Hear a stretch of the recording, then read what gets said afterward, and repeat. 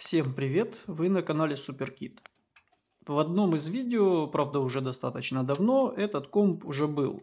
Тогда ему давали вторую жизнь посредством стандартных улучшений с помощью добавления АЗУ, установки SSD и замены винта на более современный, емкий и беспроблемный. Сейчас проблема этого компьютера заключается в том, что он не включается. Ну, точнее, вентиляторы крутятся, но ничего не происходит.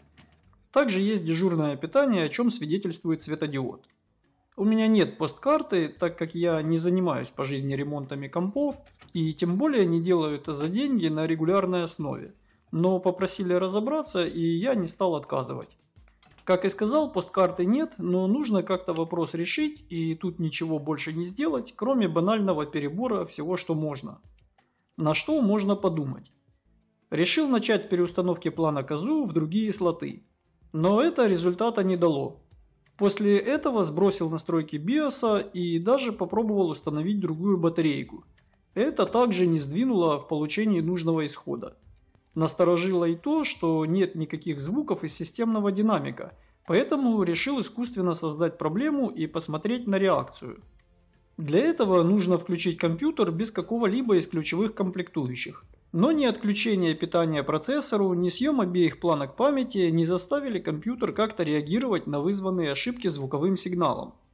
Появились первые предположения о проблемах с системной платой. Тем не менее, измерил напряжение 5,12 вольт. Вдруг плате недостаточно напряжения включиться. Но никаких подозрений напряжения не вызвало, несмотря на то, что этот комп был куплен еще где-то в 2010 году. Блок питания выдает то, что нужно. Попробовал включить с моей видеокартой, а не с той, которая здесь была. Но это также не открыло ничего нового. Мне как бы почти понятно и так, что проблема уже точно с системной платой. Но будет неловко, если после меня выяснится, что я чего-то простого не заметил. Поэтому, так чтобы наверняка, установил видеокарту в другой слот PCI Express, а конкретнее в PCI Express X1 с помощью Riser.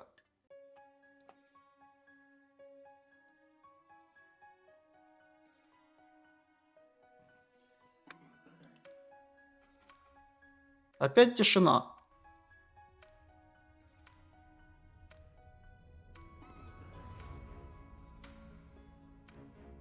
Решил копать в сторону биоса. Кстати, если включить без этой микросхемы, то своего рода реакция есть.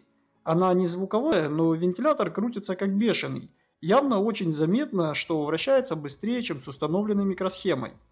Благо, у меня после модификации биоса для которой я на всякий случай купил себе про запас, осталось несколько микросхем. Они, конечно, по емкости в 8 раз больше, но больше это не меньше, поэтому записал необходимый BIOS сюда. Программатор, который также приобретался для модификации, все идеально определяет. Сам BIOS без проблем шьется и на более емкую микросхему. Никаких ошибок во время записи не выявлено. Но по итогу в данном случае и это результат не дало.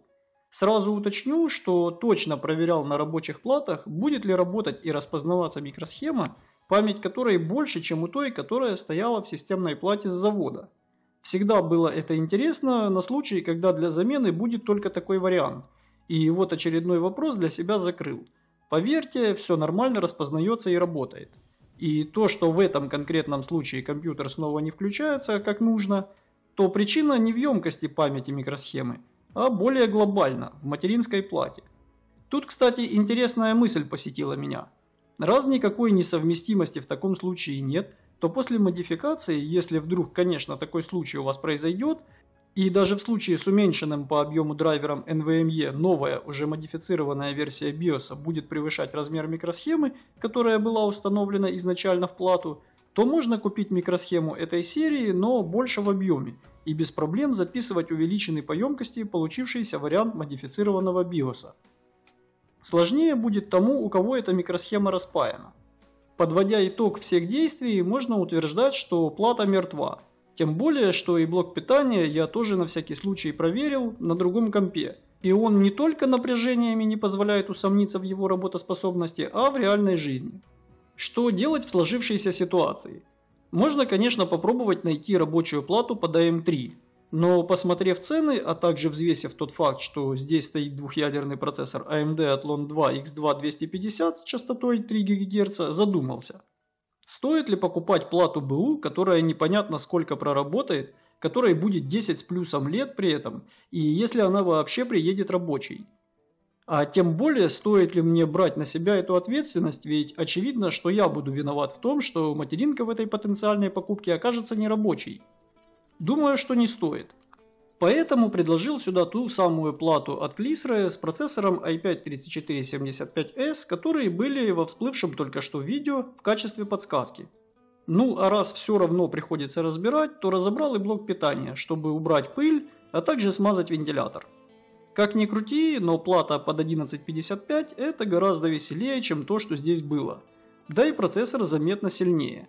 Кстати, во время сборки своего нового компа рассказывал, что пока я выбираю себе только Intel, так как с системными платами с сокетами для процессоров AMD у меня все время что-то случалось. Причем именно с материнками, а не с процами. И вот опять такой же случай, только не у меня. Хотя, конечно, в данном случае необходимо учесть и возраст этих комплектующих. Кто-то скажет, что платы под процессоры Intel тоже ломаются. И я даже не буду этому возражать, но в моем скромном опыте пока что подобного рода проблема ассоциируется у меня только с сокетом AMD. Поскольку на новой плате распаян разъем для питания процессора на 8 пин, то чтобы сейчас подключить питание процессора, пришлось воспользоваться переходником из двух разъемов Molex в один 8 пин для питания проца. Такое тоже продается.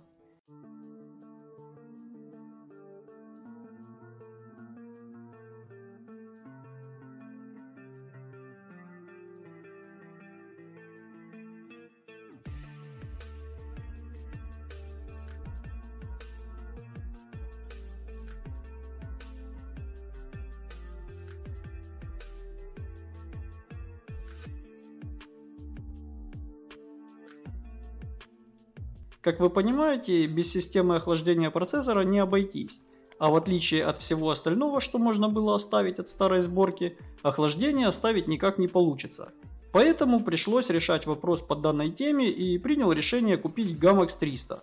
Термопаста на основании радиатора нанесена с завода и меня это устраивает. Ничего другого здесь мазать уже не буду.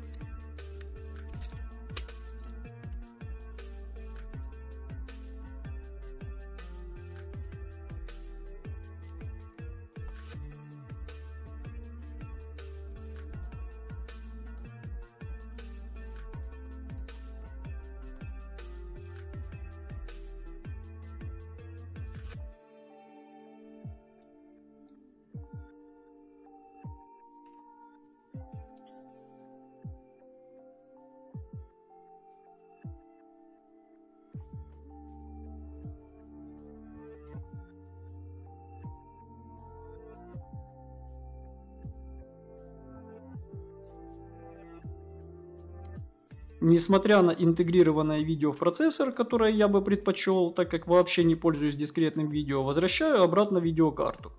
Мне чужое не нужно, а раз она есть, то пусть ею и пользуются. Но нужно выломать заглушку, так как в старой плате видеокарта была на одну позицию ниже.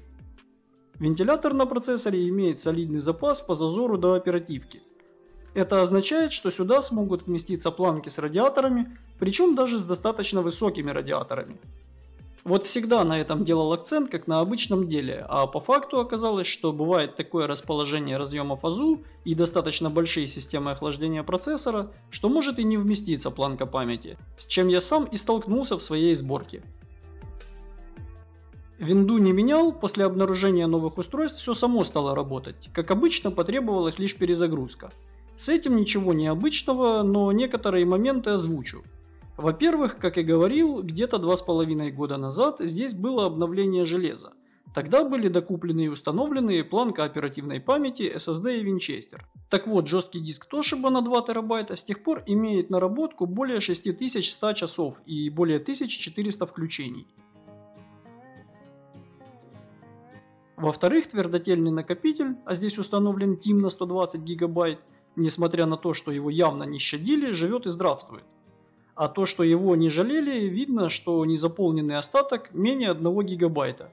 Просто ребенок, девочка, поставила себе игрушку на 70 с плюсом гигабайт на системный SSD емкостью 120 гигабайт. Остаточный ресурс по расчетам Crystal Disk Info составляет 97%, а записанного трафика чуть менее 5 терабайт. И это за 2,5 года от момента покупки. Обычная среднестатистическая семья. Мне иногда пытаются возразить, типа, как может быть так мало, что по времени, что по ресурсу. Вот типа я за такой период нарабатываю столько-то. Хз, что вы там делаете, если честно, но я сколько вижу компов, почти везде так же, как и в сегодняшнем случае. Очевидно, что если у вас SSD за год успевает сработать 20 терабайт ресурса и работает 24 на 7, то это вы и выделяетесь из общей статистики, а не остальные. В-третьих, хочу показать, как живет i5-3475S под GAMX 300. Температуру самого процессора эта плата не показывает, что обнаружилось еще с ее обзора – но по второстепенным признакам, по температурам ядер и под теплораспределительной крышкой процессора оценку сделать можно. Во всех случаях показатель температуры очень кратковременно едва касался 50 градусов, при том что вентилятор лишь немного переваливал за 1000 оборотов в минуту из своих 1600 заявленных максимальных оборотов. А при снятии нагрузки с проца вернулся даже к менее чем минимальным 900 оборотам в минуту. И это еще и при том, что температура процессора, которая не показывается, но которая как раз и нужна, обычно заметно ниже перечисленных мною других. То есть действительно все неплохо. На самом деле я предлагал владельцам компьютера два варианта по решению проблемы. Не только с платой Клисера на чипсете B75 и с процессором i5-3475S третьего поколения, но и современный вариант из магазина по месту. Разница была даже между комплектом плата плюс процессор солидной, около двухкратной. Но в случае покупки более современного комплекта она была бы еще и не конечной, потому что пришлось бы покупать не только более дорогой комплект, а и думать про новые планки оперативной памяти. Ведь это была бы уже DDR4, а там, возможно, и про новый блок питания пришлось бы подумать. Но по бюджету был выбран вариант на сокете 1155. Очевидно, если бы пришлось бы собирать с полного нуля, то от общей стоимости всего компьютера разница бы не так выделялась, что скорее всего склонило бы к покупке из магазина полного комплекта. К тому же здесь еще повлиял фактор неожиданности поломки, к ней никто не готовился и ничего нового покупать не планировал, а поэтому более дешевый вариант и победил.